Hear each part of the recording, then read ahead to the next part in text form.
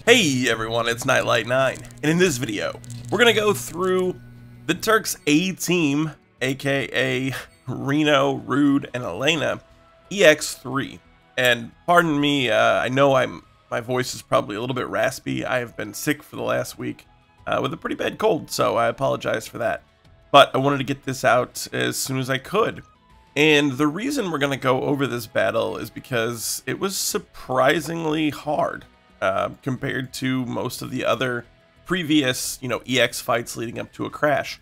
So, thought I'd go ahead and uh, do a video on this. This took me um, more tries than I'd care to admit. I don't know, 20 maybe?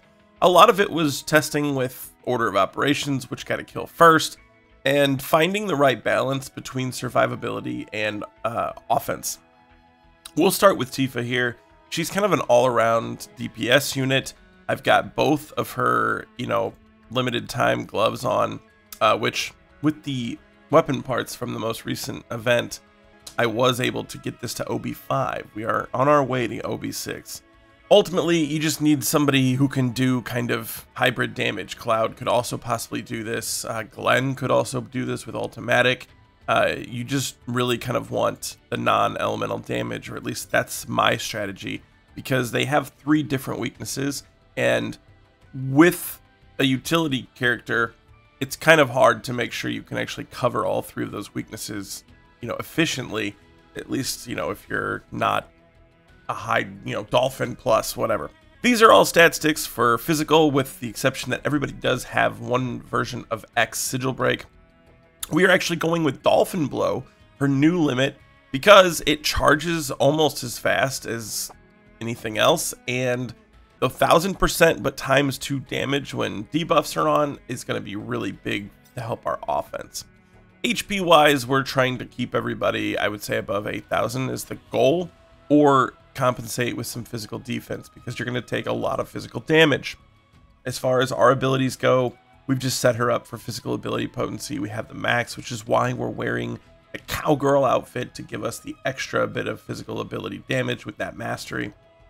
And then everything else is just fine except for going for physical attack and HP. For sub equipment, this is just good for physical attack. This is good for attack in general and also um, physical ability potency and this is mostly for attack stats. I'm not worried about anything else with her. Coming over to Sephiroth, I've set him up for ice damage because the order of operations we're going to do, we are going to kill the one that's weak to ice first. So I wanted to be able to do that as soon as possible, therefore um, making the fight a little bit easier going forward. We also do have Torn Wing in the secondary slot because the solid barrier is very helpful there's going to be several times when they start lowering your physical defense, and you will most likely need to be able to buff that up. Otherwise, uh, like for me, I would get killed. And then we've just gone with magic attack stats and X Sigil Break. One good thing also about Edge Wings here is it does have the extra X Sigil Break, which makes things really convenient. Other than that, this is, I know physical attack, but I'm really going for with both of these Ice Potency and you can see here, I was actually able to get to level 7. I'm, I'm pretty happy with that, 85% bonus damage. He did suffer, though, in, in the, you know, attack stat department. This here is just for HP, trying to get everybody, again, over that threshold of 8,000.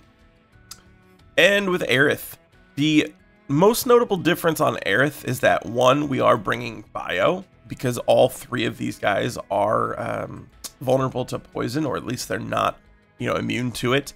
Now, 40% rate sucks, but uh, 41 seconds is a good duration, and it chips away. I mean, it does between 6 and 7,000 damage, you know, every 3 seconds or so, 4 seconds, whatever the proc rate is. And that is ultimately her best way to get in damage. Uh, I will come back to that. We've also got Full Metal Staff here, and this is another notable difference from previous builds. And I'm doing this because of the physical attack decrease. Um, I'm going to say, okay, so if you only have a five star, it is low potency, stacks to mid. This may or may not be good enough for you to survive, I don't know. But starting at OB6, um, it does go mid potency right out of the gate. And I can tell you that this is a weapon that I have never, ever put on my wish list. So having it at OB7 is just from doing all the free pulls it's given us, and it's given me this weapon. Um, other than that, uh, these this is a heal stat stick. This is the X break, and for sub equipment, we have gone with two different um, buff debuff extension items: the Shuriken and the new Cait Sith marching horn. And the reason is uh, this ultimately puts her to 80% and I thought that, that would be nice. I think I don't know if it works with the uh, bio or not. To be honest with you, um, it's an ailment. I don't know if that's considered a buff or debuff, uh, but it, I'm gonna say it probably isn't. Um, but in the event that it did work, that'd be cool. And either way, I feel like it's good for Heavenly Spike. And the stats on them otherwise, boost heal plus 40 is one of the highest ones. I think it's the highest one that I have. And boost HP plus 30 also pretty good. And the Nameless here is also for boost HP. So that's how we got her at 9,000. But still a very respectable heal at 2,200. That is my entire team setup, and now we will get into the fight. Alright, as we start out, we're going to immediately target Reno on the far right. He is the one that is linked to ice. They will immediately start up their, you know, link prep thing, which is a triple physical damage thing. Uh, we are going to just kind of get as much damage as in as we can with the other two. We're going to Heavenly Spike at some point to drop the physical attack of two of them because Rude cannot be debuffed on his attack. We switch stances. They're going to use their thing. We're going to immediately Curaga and then come back to offense and prepare for a sigil break phase. Here, I like to go to auto. There's three different ones, and sometimes with the way the AI behaves in manual, it is not ideal. Uh, so I find it kind of easiest to just auto through that because the AI actually does what it's supposed to do generally and doesn't waste ATB doing an extra sigil on one of them. Here, you just mostly want to uh, heal up. I did cast that um, Heavenly Spike again to give the debuff so that Tifa's Dolphin Blow would do maximum damage. And as you can see there, 25,000 I think is pretty great for a limit that charges at a speed of 900. And we're just going to try to get in as much damage once again as we can. Now the only the only problematic thing about this is I wish Sephiroth was doing more um, damage dealing, but because we have Torn Wing on him, the AI is going to really prioritize those defense buffs whenever it sees that we're getting ready to be AoE physically attacked.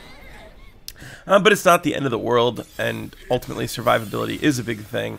But Rude is going to provoke you after this. So what we're going to do here is just hope that we have enough damage with Shiva to kill off Reno. And I can tell you, this is the second time in a row that I cleared this, and both times I did have enough with that Shiva damage to kill Reno off even through the provoke uh, which I just think was nice and helpful because then we don't have to worry about going back to him.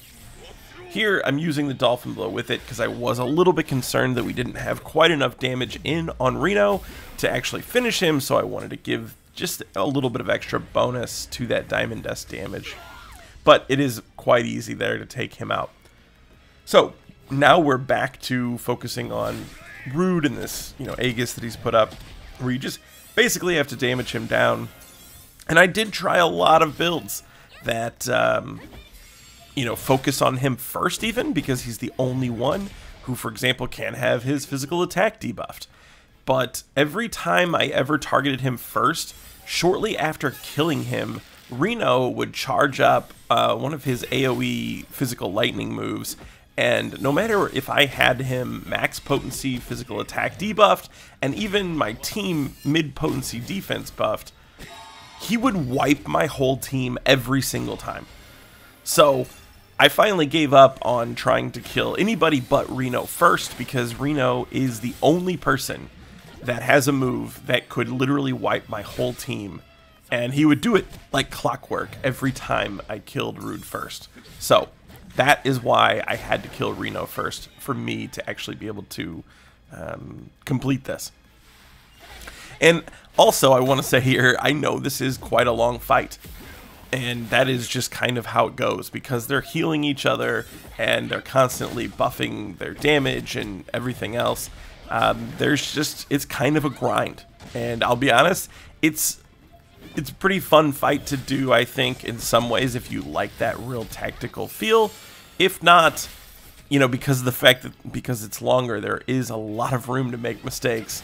Uh, it can be really frustrating, and I get that.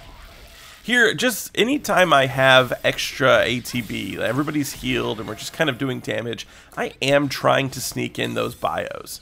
And at a 40% rate, you can see that, you know, sometimes I do a couple in a row uh, before I can get one to stick. And that's that's okay as long as you make sure that you're going to have ATB to keep everybody alive. Here I go ahead and use uh, Healing Wind, Aerith's Limit Break, and the reason for this is um, we took quite a bit of damage, and I know that's going to get me up. Also, she did not have enough ATB to just go ahead and land the Curaga right afterwards. So we're just going to do that for efficiency.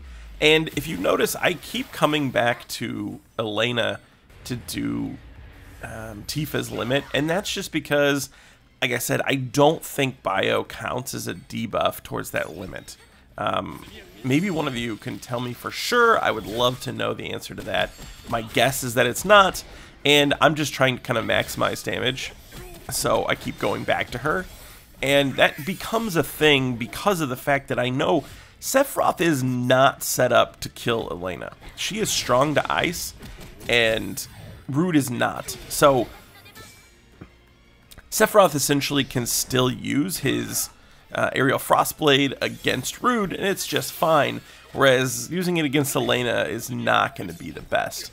Here we finally got Rude just about dead to rights having him down is a big deal. And if you can get to this point, I can tell you, you are able to clear this. Maybe you don't do it the very first time, but if you can get to the point where it's just Elena, this is actually the most doable phase of the fight. She does a lot of physical moves. She kind of alternates. She does some AoE and some single target, but they just don't do the kind of damage where you're going to get one shot uh, very easily. Except for later on, um, I will get one shot because I wasn't paying attention to her physical attack buffs. But ultimately, this is very manageable.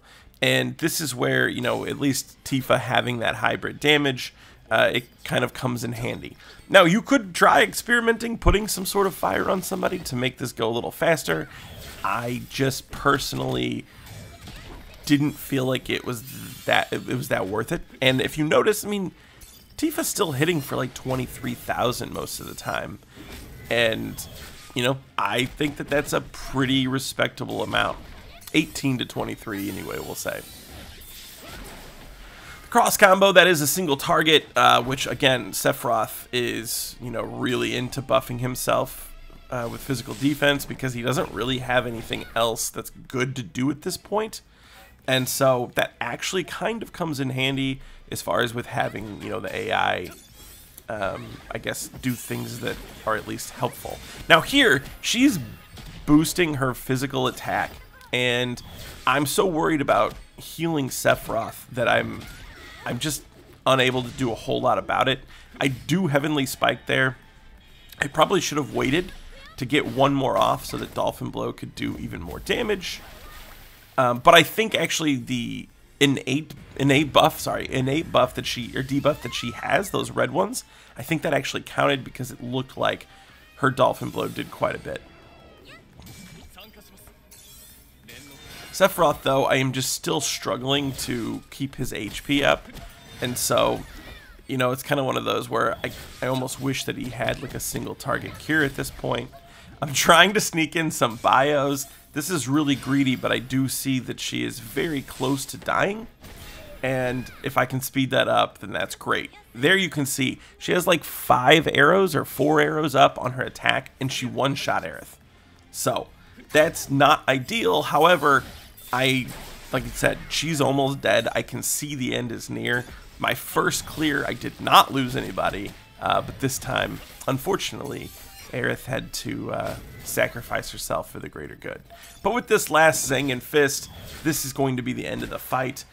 There it is. I can tell you, really, really um, I would say difficult, difficult compared to the other, you know, EX2 and EX3 fights that we've been kind of used to, especially for veteran players. So hopefully this helped you clear it. I can tell you, based on how hard that was, I think there's no way that I can uh, clear Solo Crash. Haven't attempted it yet. But anyway, I'd like to know what your guys' thoughts are. Subscribe for future content if you're not already. If you are, I appreciate each and every one of your support. And as always, thanks for watching.